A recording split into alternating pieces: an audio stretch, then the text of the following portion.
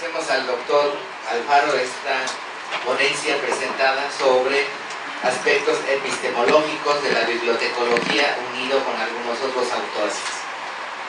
Eh, vamos a cederle la palabra al doctor Jaime Ríos Ortega, que nos va a presentar la renovación de la bibliotecología, concepto en progreso. Sí, buenos días a todos. Bienvenidos a todos aquellos colegas extranjeros que nuevamente nos visitan. Nos da mucho gusto tenerlos aquí. Eh, nos sentimos muy contentos de ellos y compartimos este gusto de verlos nuevamente.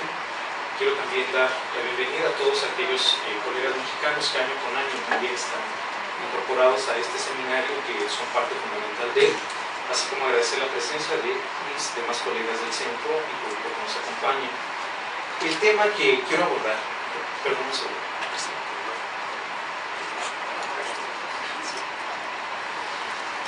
El tema que quiero abordar eh, lo he denominado renovación de la bibliotecología y el concepto de progreso.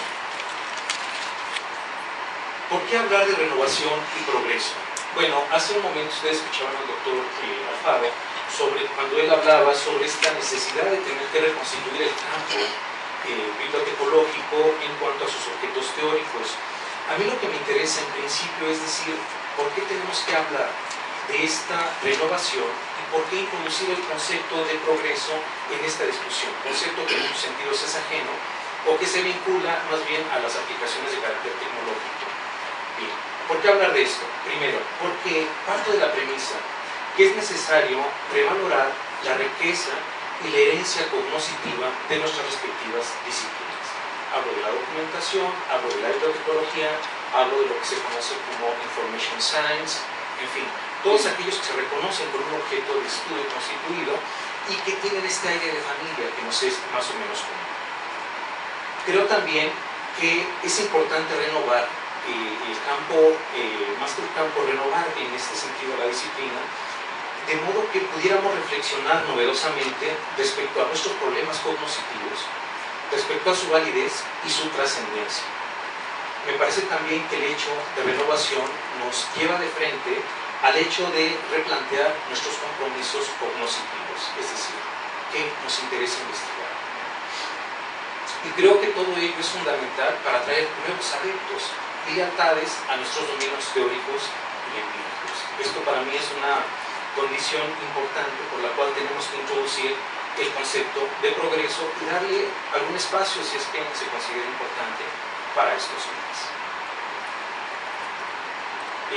Bueno, intuitivamente sabemos que las disciplinas científicas se renuevan constantemente. Muy bien hasta ahí. Pero, ¿qué significa esto? Creo yo que significa preguntarnos cómo se renuevan las disciplinas, preocupación que creo que trae de fondo nuestro colega Víctor. ¿Cómo se presenta este progreso? Si podemos identificar esto de lo que hablamos de progreso, ¿cómo vamos a identificar este progreso? Y tercero, ¿cómo sabemos que se ha progresado? Me parece que son puntos fundamentales que toda disciplina se hace, de hecho, pero que tienen poca cabida en la disciplina bibliotecológica. Nosotros vamos a observar que en la literatura especializada no hay mención de esta línea de reflexión. Es decir, estrictamente no lo hay. Como si lo hay en otras disciplinas que tienen esta preocupación. ¿Por dónde se han centrado nuestras preocupaciones cercanamente al tema o colateralmente? Si observamos con detenimiento la literatura, vamos a ver que una gran preocupación de escritos fundamentales, por supuesto, y constitutivos, tienen que ver con el problema de la identidad, de la bibliotecología, de la documentación, etc. Y acerca de estas demarcaciones y delimitaciones disciplinares, es decir, marcar estas fronteras que consideramos fundamentales en nuestros campos de conocimiento y dominios teóricos. O bien, o bien eh, se han desarrollado marcos generales de evolución conceptual y denominaciones. Es decir, ha habido un eso es muy interesante, por ver incluso cómo ha evolucionado en términos filológicos eh, todos los conceptos y todo el grupo de teorías que se tienen en sus respectivos ámbitos. Y podemos observar también que hay algunos autores que cercanamente han tocado el tema, pero yo creo que en esta línea de, de trabajo. Por supuesto está el trabajo clásico de Shira, eh, un trabajo fundamental de Schrader, un trabajo de Adolfo Rodríguez, y un trabajo que agradezco a López Yepes que me haya hecho llegar, a donde reflexiona también estos, eh, parte de esta, de esta problemática. Sin embargo, eh, quiero introducir ya alguna aproximación a este concepto de progreso que me parece fundamental para la discusión y de la renovación de la bibliotecología. Primero, cuando hablo de progreso, no me refiero a la acumulación lineal de juicios que no son sujetos a examen críticos. No voy a hablar de eso y no hablamos tampoco de la adición de hechos o el establecimiento de cronologías. A mí me llama mucho la atención, por ejemplo, cuando a los estudiantes se les enseña historia de la bibliotecología, etcétera, que en realidad, les dan cronologías de instituciones, por ejemplo, o les enseñan hechos fundamentales acerca del desarrollo bibliotecario, pero no, no es de eso de lo que estamos hablando, y menos en el sentido cronológico o de suma o de linealidad de lo que vamos a hablar es de progreso respecto a lo que son las aspiraciones cognitivas de la ciencia. Es decir, la ciencia lo que busca es conocer, entender, explicar. ¿Cómo vamos a saber que progresamos en ese sentido? Esa es la preocupación que tenemos. Y luego, la, en principio, la aproximación que quiero dar es, vamos a entender por proceso, eh, perdón, por progreso, el proceso por el cual se alcanzan perspectivas más complejas y diferenciadas, que por su propia diferenciación hacen imposible una vuelta atrás, así como un amplio consenso sobre lo más valioso de los resultados obtenidos hasta la fecha. Es decir, yo creo que hay un punto en el que podemos decir si lo que estamos trabajando intelectualmente ahora es mucho más complejo y mucho más rico de lo que se estaba trabajando, por ejemplo, no sé, hace 40 años sus inicios, la disciplina, etc. Y si nosotros podemos reconocer eh, si esta perspectiva es tan valiosa que no nos permite regresar atrás. Es decir, después de que se ha introducido un concepto, es imposible volver atrás. Quiero dar un ejemplo.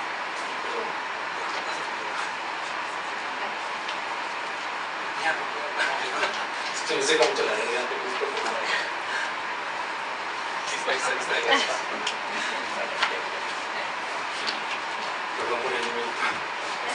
por ejemplo, cuando aparece el concepto de bibliografía, una vez que aparece con todo el contexto en que surge, es imposible dejar de hablar de bibliografía y de todo lo que ello implica. Cuando aparece el concepto de documentación, imposible dejar de hablar de documentación. El concepto forma parte de nuestra herencia cognitiva, más todo lo que le rodea, en cuanto a técnicas, teorías, etcétera, etcétera incluso cuando aparece el concepto, por ejemplo, de recuperación de información. Me refiero a estos puntos fundamentales en la disciplina que teóricamente después es imposible dejar de hablar de ellos. Y posteriormente incluso nosotros vamos a ver que hay préstamos conceptuales, digamos, intrateóricos, que son parte fundante de cada uno de, estas, de estos campos de conocimiento, por decirlo en un primer momento. Bueno, a eso me refiero. ¿Cómo hemos ido eh, logrando estas diferenciaciones intelectuales y cómo una vez que las hemos conformado ya no podemos dar vuelta atrás. En eso no poder eh, dar vuelta atrás porque este concepto ya es parte de nuestra herencia cognoscitiva y tenemos un consenso que es fundamental y que es valioso, ¿cómo vamos a reconocer esos límites? ¿Cómo vamos a saber que estamos ahí parados en este sentido de progreso? Y por otro lado, tenemos que hacer como este corte de caja para decir, bueno, entonces, ¿cuáles han sido los resultados más valiosos que hemos obtenido hasta este momento. Me parece que es una reflexión fundamental en cada uno de nuestros respectivos campos que tenemos que hacer. Y esta es la parte que me importa, ¿no? Porque me parece que mucho de la problemática sigue centrada en estos términos de si somos ciencias, si no somos ciencias, si somos técnica, si nos reconocemos en un lado. Es decir, ¿qué hago yo con mis colegas documentalistas si yo me reconozco como bibliotecólogo? ¿Qué hacemos con toda la tradición de pensamiento norteamericana, identificada en, Information Science, por ejemplo, que tocamos problemas comunes, etcétera, etcétera? En algún punto tenemos que poner un orden intelectual que nos permita seguir creciendo intelectualmente. Pero ahorita vamos a hablar de eso. Por lo pronto, entonces, hay una primera aproximación aquí sobre este concepto. Ahora bien, esta preocupación que yo ahora menciono ha sido objeto de trabajo intelectual por parte de la filosofía de la ciencia que se ha tomado el trabajo de desarrollar lo que se llaman modelos normativos. Es decir, a ellos les preocupa saber cómo cambia la ciencia, cómo evoluciona la ciencia, cómo identificamos el cambio científico y sobre todo cómo lo identificamos en este sentido del progreso. Ellos denominan modelos normativos. Y estos modelos normativos lo que nos dan son diferentes explicaciones sobre el progreso, ya lo había dicho, y el cambio científico. Eh, esto ya lo había dicho. Y luego, hay una cosa que es fundamental. Este, este tipo de trabajo intelectual, su base es rigurosamente histórica y empírica. ¿Por qué? Porque dejaron de lado los modelos a priorísticos, es decir, inventarse modelos de cómo pensamos que funciona sin remitirse al trabajo concreto del historiador que construye el hecho, que interpreta y que da toda su versión y desde el cual extrae estas posibilidades de modelo. Y aquí yo diría, aquí no hay vuelta atrás, esto es un progreso en ellos. ¿Dónde comienza un trabajo intelectual de esta naturaleza? Bueno, de todos ustedes es conocido este libro multicitado, de la estructura de las revoluciones científicas.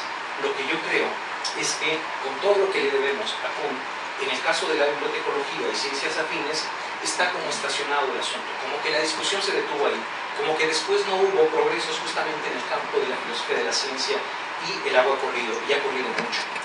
Y ha corrido con teóricos fundamentales como Lakatos, con su concepto de programas de investigación, con Turbin, que hace un libro bellísimo, que afortunadamente está traducido al español, es dedicado a la comprensión humana y donde él se dedica a analizar este problema, cómo cambian los conceptos a través de la historia. Por supuesto, y un autor del cual yo hablaré más adelante, eh, el modelo de progreso entendido a partir de la solución de problemas y tradiciones de investigación, y un autor que también es maravilloso de Kitcher, con el concepto fundamental donde habla de prácticas de consenso. Ahora bien, voy a detenerme en este autor que se llama Laudan y que al final eh, fundamentalmente privilegia un modelo denominado de solución de problemas. Y ahorita vamos a ver por. Eh, solo voy a hablar de este autor, los otros están abiertos a su consideración y si gustan posteriormente profundizamos sobre ello. Pero el desarrollo que voy a hacer tiene que ver con, con esta perspectiva. ¿Qué nos dice Laudan sobre cuál es el objetivo de la ciencia? Dice, mire, Vamos a reconocer el objetivo de la ciencia fundamentalmente como la resolución de problemas. Ese es un punto fundamental. Ahora bien, ¿qué es lo que persigue una ciencia que busca resolver problemas?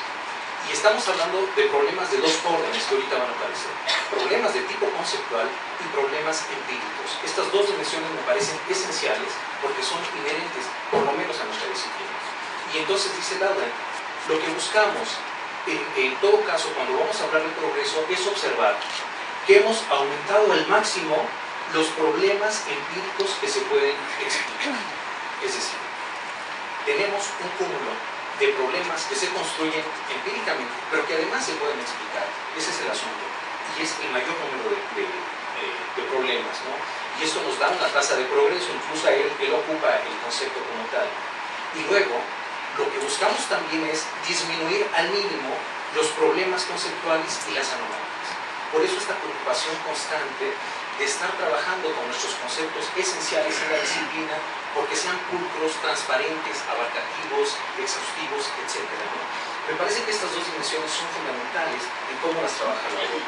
Y luego dice una cosa que me parece interesantísima. Vamos a observar que hay progreso en la disciplina cuando las teorías sucesivas resuelven más problemas que las antecesoras.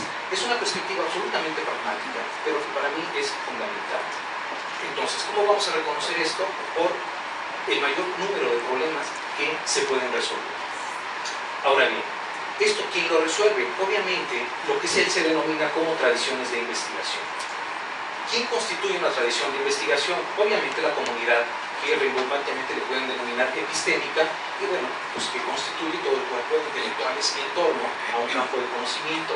Pero lo interesante del concepto de Laura es que dice, una tradición de investigación es un conjunto de síes y de noes, es decir, esto sí, esto no. ¿De qué carácter? Ontológico y metodológico. ¿Esto qué significa? Significa que en las tradiciones de investigación con las cuales nos asociamos, y esta socialización que se hace a través de la enseñanza, etcétera, es decirles a nuestros estudiantes o es que los investigadores identifiquen ¿Cuáles son estas entidades ontológicas, digamos, estas entidades que son esenciales como objetos de estudio en nuestras disciplinas? Pero no solamente eso, también tenemos que sancionar y decir cuál es el mejor modo de estudiarlo y cuáles son los mecanismos válidos de construir nuestras teorías. Este punto es esencial. De tal modo que podemos tener tradiciones de investigación muy longevas que con los años, con los siglos, han transformado sus objetos de investigación. Eso es fundamental. Lo podemos observar en la química, en la física, en la filosofía, en la historia. Este punto es interesantísimo. Ahora bien, ¿cómo medimos el éxito de una tradición de investigación? Dice, bueno, cuando observamos que las teorías componentes conducen a la solución adecuada de un ámbito creciente de problemas empíricos y conceptuales. Es decir, aquellas disciplinas donde se puede observar un mayor progreso son estas que, han, que han estado en la tarea de resolver estos grandes problemas empíricos conceptuales, pero desde esta perspectiva. Y aquí hay una cosa que me parece fundamental, que se ha entendido poco y que a mí me interesa comentar y compartir con ustedes. Esta idea de que triunfa una comunidad este diaconiana, de que triunfa una comunidad con su paradigma sobre las demás y que se vuelve dominante, no es algo que yo comparta del todo, porque, siguiendo el pensamiento del aula, lo que nosotros vamos a observar realmente en las diferentes perspectivas de conocimiento científico y de disciplinas que nos interesan problemas comunes, es que vamos a observar la coexistencia de teorías rivales y de tradiciones de investigación. Y esa es la regla. Digamos, ¿cómo nos explicamos que acá tengamos una tradición de investigación centrada en la bibliotecología, que nuestros queridos colegas eh, de, de otros países tienen las suyas, que se reconocen como documentalistas, o que se reconocen aún como bibliotecónomos, o que se reconocen en Library Science, Information Science, etcétera, etcétera, etcétera. Bueno, obedece a un hecho histórico de constitución que tiene que ver con estas tradiciones de investigación que se organizan en torno a esos objetos de conocimiento. Pero lo que vamos a observar es eso, que es la coexistencia de teorías. El hecho de que surgiera una no significó la eliminación de otras, de ningún modo. Y en cambio sí vamos a observar esta riqueza y esta pluralidad. Ese aspecto me parece fundamental y eso es en realidad lo que observamos a lo largo del desarrollo de nuestras disciplinas. Ahora bien, me parece que nosotros, con, esta embarrada de conceptos, y perdón por, por, por la expresión, por, esta, por este dibujo elemental del pensamiento de Laura, podríamos sugerir una pregunta interesante, ¿no? A partir de nuestras propias tradiciones de investigación, es decir, de aquellos ámbitos intelectuales en los cuales nos reconocemos deudores y seguidores, ¿cómo hemos contribuido al progreso de nuestra disciplina? Esa es una pregunta que me parece esencial. ¿Por qué? Porque en los diferentes, eh, ámbitos eh, creo que es necesario poder establecer este momento de reflexión en los que decimos, a ver, ¿cómo hemos evolucionado? ¿Cómo hemos enriquecido nuestra herencia cognoscitiva? ¿Cómo la podemos seguir enriqueciendo? ¿Cuáles son los objetos de conocimiento válidos? ¿Cuáles tenemos que desechar? ¿Cuáles tenemos que transformar? ¿O cómo cobijamos otros nuevos, otras nuevas actividades? Entonces, aquí hay un punto que me parece esencial que, digamos, admite una perspectiva de carácter individual, personal, yo diría casi subjetiva, y que en muchos sentidos es reconocida por nuestros colegas, cuando hacemos nuestros reconocimientos a nuestros colegas queridos, porque fue el primero que aportó el concepto fulano, porque aportó la teoría, etcétera, etcétera, etcétera. Bueno, la disciplina siempre tiene estas, eh, estas menciones honoríficas por la contribución.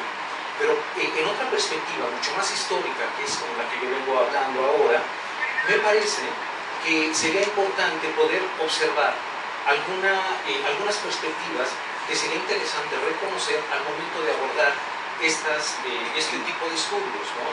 Es decir, quiero partir de la idea que muchos de ustedes van a salir de aquí emocionados diciendo, sí, yo voy a estudiar cómo ha, cómo, cómo ha progresado mi disciplina y entonces voy a adquirir un modelo. Perfecto. O voy a adoptar un modelo sobre el cual me interesa profundizar en ello. Muy bien. Quiero decirles que al respecto, en otros ámbitos eh, se han observado, digamos, la factibilidad y la pertinencia de estos modelos. Y aunque no hay un modelo, digamos, que surta y que tenga toda la eficacia eh, del mundo que uno esperara, por lo menos la ideal, sí han logrado establecer algunas reglas de carácter epistemológico y de vigilancia epistémica que sería interesante identificar. Por ejemplo, hemos denominado guía para el examen de modelos aplicables a la bibliotecología. ¿Qué debiéramos tomar en cuenta? Uno, que la historia de la bibliotecología es la fuente principal de información para poner a prueba estos modelos. Es decir, en este momento difícilmente nos vamos a tomar en serio un modelo que tenga esta, estas características a priorísticas donde dejan de lado esta evolución conceptual de la propia disciplina con toda su problemática. Esto me parece que desde luego tiene, un punto de vigencia esencial y decíamos no hay vuelta atrás. Ahora, esto me parece que es muy interesante. No hay una única manera de organizar conceptualmente la experiencia, que dicen los hechos están cargados de teoría. ¿Esto qué significa? Significa que debido a nuestra perspectiva teórica con la cual nos han enseñado a observar el mundo, Ahí donde nosotros observamos un libro, alguien va a decir que es un documento, alguien va a decir que es información, alguien va a decir que es un registro gráfico, etcétera, etcétera, etcétera. ¿Qué hay detrás de esa definición? Está esta carga teórica con la cual delimitamos ese fenómeno empírico. Entonces, por eso es que se dice, los hechos están cargados de teoría, y los objetos empíricos por mayor razón. Si no tenemos teoría, no tenemos modo de delimitar ese elemento empírico, trabajar con él, etcétera, etcétera. Otra. Las teorías científicas, las teorías científicas se construyen y evalúan dentro de marcos conceptuales más amplios. Es decir, no solo se toma el contexto interno de la propia teoría, sino todo el marco de redes y compromisos cognoscitivos de una tradición de investigación para decir si esta teoría tiene esa validez, tiene ese alcance del cual se le está dotando. Y por supuesto, estos marcos conceptuales de dónde se evalúa cambian con el tiempo, esto necesariamente. Luego, tendríamos que decir que habría que tomar en cuenta que la biotecnología no es una empresa totalmente autónoma. ¿Por qué?